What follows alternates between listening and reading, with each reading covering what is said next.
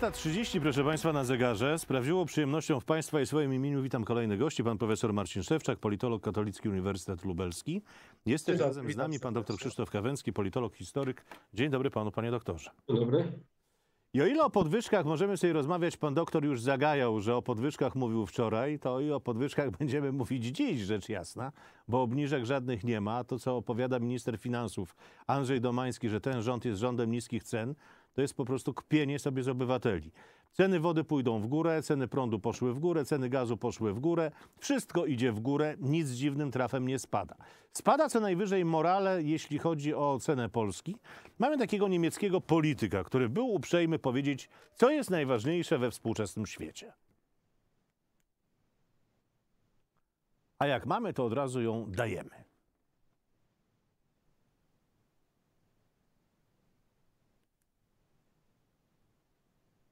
No jak? Zapisa, zapisana jest, to musimy mieć. Pod numerem jeden być może. Jest, jest.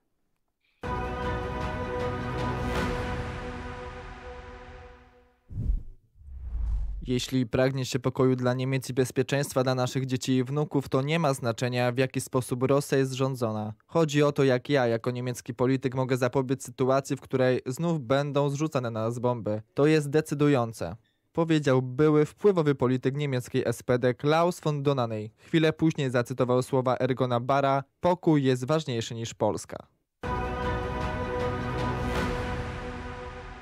Jaką rolę, proszę Państwa, nasz kraj odgrywa w tym pokoju, panie profesorze?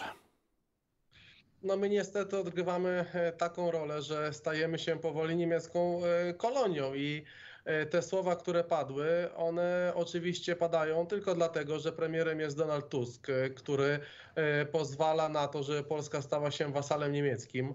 E, Również e, te słowa padają w obliczu tego, co dzieje się na Ukrainie, czyli e, dążenia do tego, żeby prezydent Zełenski zawarł porozumienie i tak naprawdę zakończył tą wojnę na Ukrainie na zasadach i warunkach e, Rosji, e, ponieważ Niemcy chcą wrócić do tych starych e, relacji, do realizowania swojej gospodarki. Gospodarka niemiecka przez te ostatnie lata, kiedy jest konflikt na Ukrainie, znacznie zmniejszyła swoje obroty. Niemcy funkcjonują gorzej, mają mniej oszczędności, mają problem z nielegalną imigracją, mają problem z, z tym, że emeryci niemieccy już nie mogą tak korzystać z tych różnych kurortów światowych, jak to robili wcześniej. Chcą po prostu wrócić do tego swojego standardowego życia, które wiedli wcześniej. I do tego jest im potrzebne, potrzebna jest ta bliska relacja z Federacją Rosyjską. Polska była tak naprawdę dla nich jednym dużym problemem, ponieważ e, po pierwsze stworzyliśmy współpracę państw Europy Środkowo-Wschodniej w ramach inicjatywy Trójmorza, A co za tym idzie, zaczęliśmy blisko współpracować ze Stanami Zjednoczonymi, e, podczas gdy zarówno Olaf Scholz, jak i również e, e, prezydent Francji Emmanuel Macron dążą i robią wszystko, aby wypchnąć Stany Zjednoczone z Europy. E, I teraz tym bardziej jeszcze w obliczu tego, co dzieje się podczas kampanii prezydenckiej w Stanach Zjednoczonych, obawiają się, że może im się to nie udać, więc będą czynili wszystko, aby powrócić do tego, do tych dawnych relacji z Federacją Rosyjską, do tego resetu, który, e, który kiedyś e, e, funkcjonował. No i Donald Tusk jest idealną osobą do tego, żeby to wszystko realizować. Wydaje mi się, że ta, te ostatnie wydarzenia z, z wymianą tych szpiegów no, w sposób dobitny pokazały, gdzie jest miejsce Polski, w jaki sposób Donald Tusk usadawia naszą e, pozycję w Europie. No tak naprawdę nie zyskaliśmy nic, wręcz przeciwnie, staliśmy się tylko taką marionetką, m, która służyła do wykorzystania przez, przez Niemców. No, Panie to- profesorze, ale jak to? Przecież odzyskaliśmy należną nam rangę w, w Europie i na świecie. Wszyscy nas szanują się wreszcie z nami liczą. Tak, i wreszcie została wprowadzona e, praworządność i doskonale e, widzieliśmy, że właśnie e, jeżeli chodzi o tego szpiega, który wcześniej miał powiązania, jak to, jak to określano, że był dziennikarzem hiszpańskim, to właśnie był jeden z elementów zarzucania Polsce łamania praworządności, że został on po prostu aresztowany, więc to jest, mm, można powiedzieć, taka nowomowa, która jest skierowana niestety do dużej części Polaków, którzy zdecydowali się na koalicję 13 grudnia i w dalszym ciągu uważają, że mm, największym sukcesem tych wyborów październikowych było odsunięcie Prawa i Sprawiedliwości od władzy. Dla tych ludzi nie ma znaczenia, e, kto rządzi Polską, jak e, ta Polska m, zostaje odbierana na arenie międzynarodowej. No i niestety mamy tego skutki. To jest e, tym bardziej niebezpieczne, ponieważ mamy no już praktycznie można powiedzieć za kilka miesięcy początek kampanii prezydenckiej. I w moim przekonaniu Donald Tusk szykuje się na to, żeby zostać kandydatem, więc my za chwilę możemy obudzić się naprawdę w bardzo trudnej sytuacji geopolitycznej poprzez to, że będzie mm, chciał po prostu oddać e, Polskę, wieńcząc siebie jako mm, e, gospodarza tego żyrandola e, pod wywładanie niemieckie. No ale będzie zmiana, bo ciepłej wody w kranie już nie będzie, bo woda będzie droga. Panie doktorze. No, przede wszystkim ta wypowiedź niemieckiego polityka pokazuje, że niemiecka polityka, w przeciwieństwie do polskiej polityki zagranicznej, no jest y, stałą polityką, polityką podmiotową, w rozumieniu oczywiście interesu niemieckiego. Pamiętamy takiego polityka, zresztą bardzo wysoko ocenionego przez władze mm, PRL, Willego Brandta, socjaldemokraty, y, który rozpoczął tak zwaną politykę wschodnią. To jest przełom lat 60., 70. ubiegłego wieku. I właśnie taka zasada była, którą dziennikarze, eksperci określali takim mianem tej zasadą tej polityki było to e, daj i bierz. To znaczy coś tam daj w tym przypadku Związkowi Sowieckiemu, żeby e, usatysfakcjonować Związek Radziecki, jego cele, plany i tak dalej, no i bierz to, co może wziąć dla Niemiec. A zatem polityka, y, która polegała na tak zwanej normalizacji stosunków ze Związkiem Sowieckim wówczas, czego rezultatem było na przykład podpisanie w grudniu 70 roku tego porozumienia o normalizacji stosunków między Republiką Federalną Niemiec a PRL-em, ale to była i później inne państwa, z innymi państwami Bonn zawierał komunistycznymi różne porozumienia, ale to był efekt takiej polityki, że po prostu to była polityka ustępstw wobec Związku Sowieckiego, bo celem było przede wszystkim to, już wówczas Niemcy myśleli o tym, zjednoczenie Niemiec. I w zasadzie można powiedzieć, że ta polityka wschodnia Niemiec no, nie uległa zmianie. To jest polityka marzeń, celów niemieckich, e, zarządzania Europą, a na pewno już Europą Środkową przez Niemcy i przez Rosję, takie konsorcjum niemiecko-rosyjskie. Niestety w przeciwieństwie do polityki niemieckiej, która jest, jak mówię, generalnie konsekwentna, w tym przypadku niewątpliwie prorosyjska i to niezależnie, czy to są chadecy, czy e, socjaldemokraci, czy zieloni, czy, czy, czy powiedzmy liberałowie i tak dalej, to polska polityka, no niestety tej kontynuacji nie ma. Teraz mamy z polityką no właśnie takiego klientelizmu ze strony mm, polskiego rządu, rządu Donalda e, Tuska, który niewątpliwie wpisuje się w strategię polityki niemieckiej. Wszelkie, wszystkie działania odnośnie, nie wiem, Brukseli, Rosji, innych kierunków politycznych, one są wypadkową, mówię o rządzie polskim, wypadkową właśnie tych koncepcji e, niemieckich i tak niestety tę polską politykę zagraniczną w tej chwili możemy właśnie odczytywać. Proszę Państwa, próbowano nam tłumaczyć, że biznes wycofuje się z Polski ze względu na to, że ludzie w miarę godnie zarabiają, chociaż 4300 zł to raczej nie jest godna pensja. E, I wszystko wskazuje na to, że te pensje minimalne będą od przyszłego roku mrożone, czyli nie będą szły w górę. Ale za to na łamach e, dzisiejszej prasy bezproblemowo znajdą Państwo taki artykuł. Polska ma najdroższy prąd w Europie. Przemysł podnosi alarm, to grozi katastrofą. I ceny hurtowe, według e, autorki tegoż artykułu, mamy w e, Polsce najwyższe w Europie. Nasz biznes przestaje być konkurencyjny. Czym to wszystko się zakończy? Panie profesorze. Zakoń zakończy się to podobnie tym, jak mieliśmy w latach 90. sytuację chociażby z naszym przemysłem stoczniowym, z naszym e, przemysłem e, cukrowniczym, gdzie najpierw doprowadzano do upadłości i nierentowności przedsiębiorstw państwowych, a później zostały one bądź to wykupywane. Mamy dzisiaj przecież branżę cukrowniczą, że ona w dużej mierze jest realizowana przez, przez cukrownie niemieckie. No, wszyscy przecież ze śmiechem wskazywali na Gabriela Janowskiego, który protestował kilkanaście lat temu, a dzisiaj widzimy, że to właśnie były te początki e, kolonializacji Polski przez, e, przez Niemców.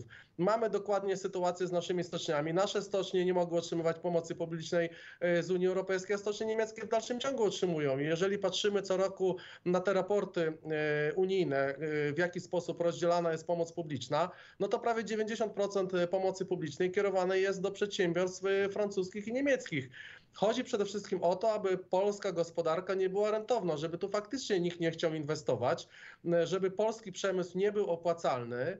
E, no i wtedy tak naprawdę będzie nas bardzo łatwo wykupić. Ogromne niebezpieczeństwo jest związane z tym, że widzimy duże zainteresowanie przedsiębiorstw e, zagranicznych, zwłaszcza niemieckich, e, tym, żeby inwestować e, na Ukrainie, żeby tam po tym e, porozumieniu, które wkrótce pewnie zostanie zawarte, czyli będziemy mieli te porozumienia mińskie BIS, żeby tam wejść z tym ogromnym biznesem, który w dużej części już tam jest.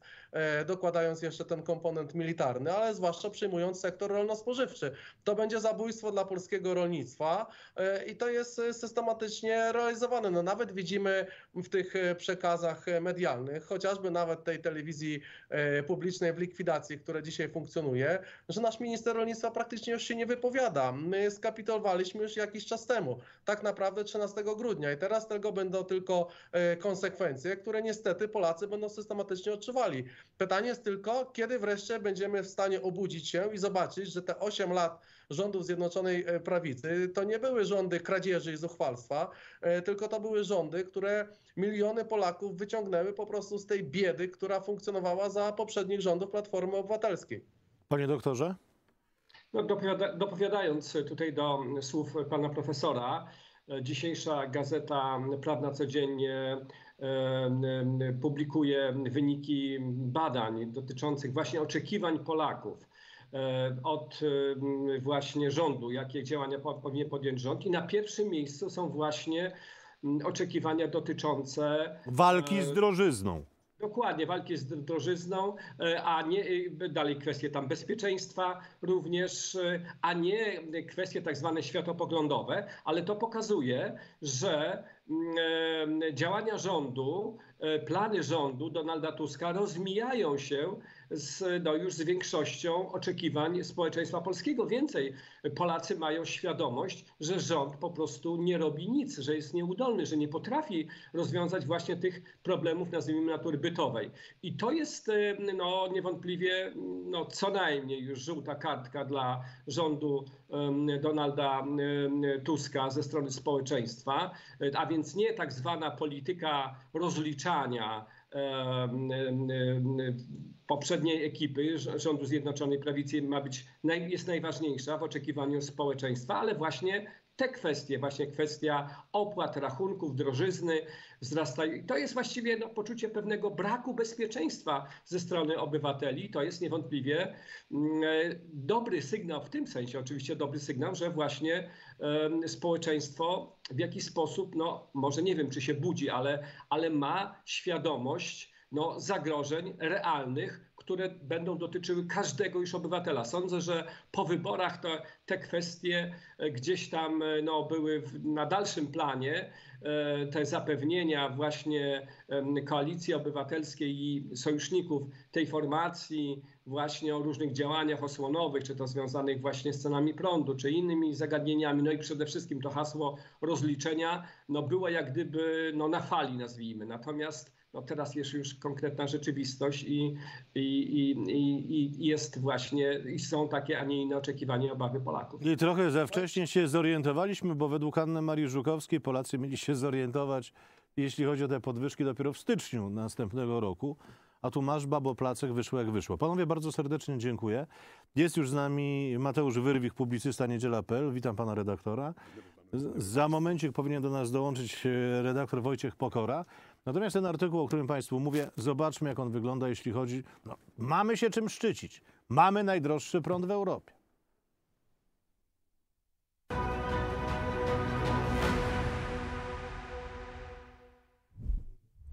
Hurtowe ceny energii w Polsce należą do najwyższych w Europie.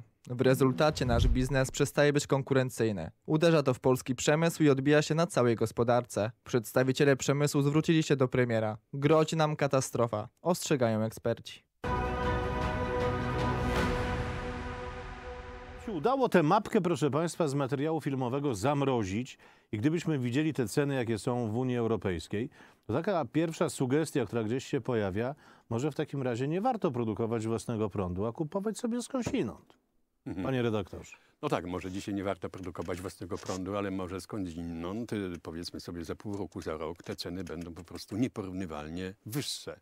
E, W ogóle wydaje mi się, że jeśli gospodarka traci e, e, energię, jeśli państwo traci energię, staje się uzależnione od innych państw, po prostu można tą gospodarką manipulować w zależności od tego, co się chce zrobić. Na przykład wybrać nowy rząd, taki, jaki odpowiadałby Unii Europejskiej, Niemcom, Holandii, czy kogokolwiek, czy Rosji nawet, więc y, y, trzeba bardzo, bardzo ostrożnie do tego podchodzić i broń Boże nie oddawać własnej energii obcym państwom. No dobrze, ale ja słyszałem już o wielu planach, które miały doprowadzić do tego, że energia będzie tańsza, że będziemy się rozwijali, że będziemy stawiali na swoje. Miały być elektrownie atomowe, miało być OZE. Wszystko miało być. No tak, to pan słyszał od oszustów, jak rozumiem, od Platformy oszustów. czyli Nie. te- O, Słyszałem od polityków, którzy mnie zaklinali, przekonywali, czy, czy, czy nawet utwierdzali w tym przekonaniu, że, że tak będzie.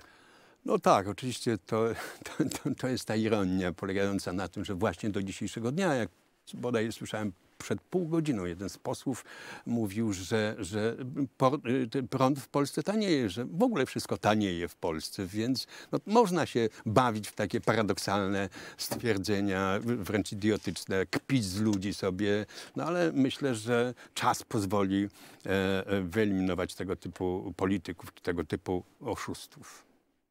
No, czyli, czyli że co?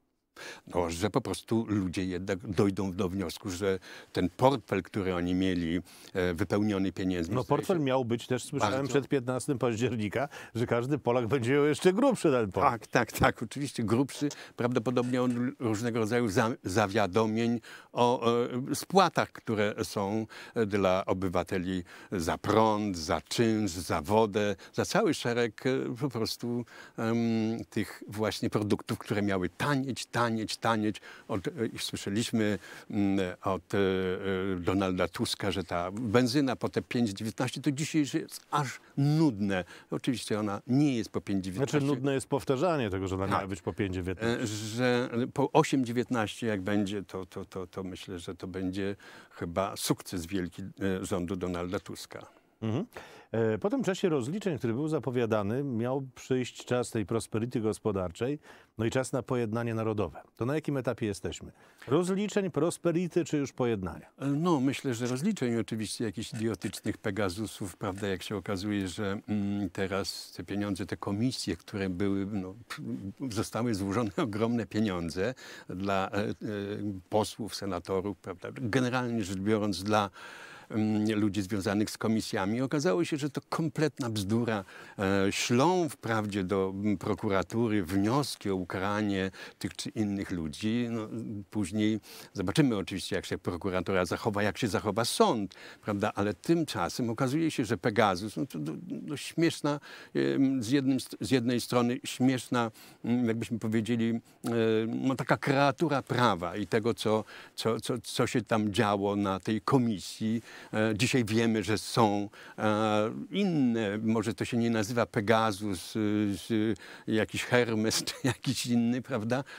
I to jest taka kpina z ludzi z ogółu, e, z, którzy płacą na tę telewizję, którzy płacą na ten e, Sejm, którzy mm, no, mm, zarabiają jakieś niskie pieniądze.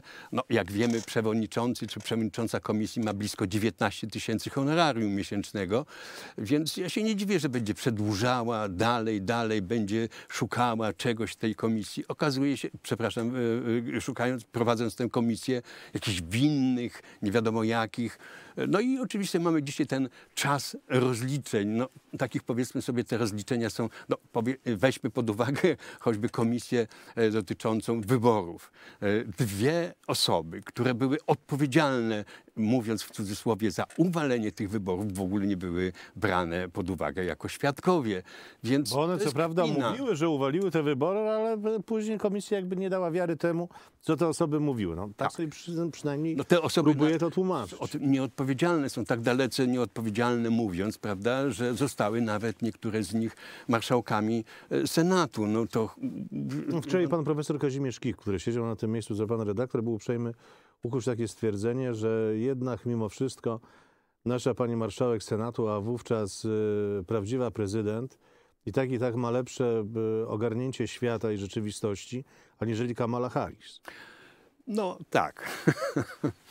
E, Prawdopodobnie pan, e, pan, pan profesor Kik zna e, panią Kamalę Harris lepiej niż panią mm, naszą marszałek Senatu. Dzisiaj, no ale ma, mieliśmy różnych marszałków Senatu. Jej poprzednik, mm, słynna postać, znana nie tylko w Szczecinie, m, myślę, że powinna być znana na, w, w gabinetach prokuratorskich i sędziowskich. No ale cóż, tak to jest, mm, bywa. Więc próba dezawuowania e, państwa, próba destrukcji państwa, dezawuowania prawa, to, to się odbywa. E, Powiada pan o rozliczeniach.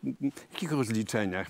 O czym my mówimy? Co rozliczamy? Prawo rozliczamy, które było stosowane zgodnie z prawem. Oczywiście można mówić, że przez 20 czy 30 razy powtarzać jedną bzdurę, jedno kłamstwo, tak jak dzisiaj któryś z tych uczestników będących, już nie pamiętam, po, po górnej prawej w, w, stronie ekranu, mówił wszystko coś, co, co, co, było po prostu jawnym kłamstwem, prawda? No, ale powtarzane wielokrotnie jawne kłamstwo w myśl zasady gebelsowskiej czy stalinowskiej może po prostu stać się w pewnym momencie prawdą. A poza tym to oddziaływują na opinię społeczną, to oddziaływanie polega na zmęczeniu. No, Niech oni już nie wiem, co się tam dzieje, niech oni mówią, no jedni mają prawdę, drudzy taką. Dajmy spokój, prawda? I w ten sposób opinia publiczna jest po prostu też destruowana. No dobrze, ale kiedyś chodzi. ten spokój też był zupełnie inaczej interpretowany. To miał być żyrandol i to miała być ciepła woda w kranie. A tu wychodzi na to, że ani wody ciepłej w kranie nie będzie, a z tym prądem to też za bardzo nie poszalejemy. No. No, em, są dwie koncepcje. Jedna koncepcja nic nie robimy. To zresztą z, tego ten element nic nie robimy dzisiejsz, do dzisiejszego dnia działa. Proszę zwrócić uwagę, co jest, co robi Sejm. Właściwie tak na dobrą sprawę nic. No, dzisiaj Sejm ma wakacje. Tak, no półtora miesiąca, prawda, ma wakacje. Em, y, jakieś uchwały, co tu w ogóle, wie pan, to jest y, coś, co jest no niebywałe e, w polskim, nie tylko zresztą w polskim prawodawstwie, no ale z drugiej strony, jeśli ma przyzwolenie Unii Europejskiej, a jeśli weźmiemy pod uwagę, że e, prawem zajmuje się kobieta, zajmowała się kobieta, e, m, która była m, skazana, siedziała przez kilka miesięcy w więzieniu, prawda, u siebie, pani Jurowa. I jeśli się weźmie pod uwagę, że 30% ludzi, którzy są w Parlamencie Europejskim, jest w taki czy inny sposób e, e, było skazane, czy była, były prowadzone procesy o korupcję, no to przepraszam bardzo, no w Polsce towarzysze z Platformy Obywatelskiej mogą robić co chcą. E, na razie, wydaje mi się, na razie. I w No to na razie musimy stawiać kropkę, niestety. Mateusz Wyrwik, publicysta Niedziela.pl. Dziękuję panu, dziękuję, Dziękuję bardzo, z Panem Bogiem. Życzę. Do zobaczenia.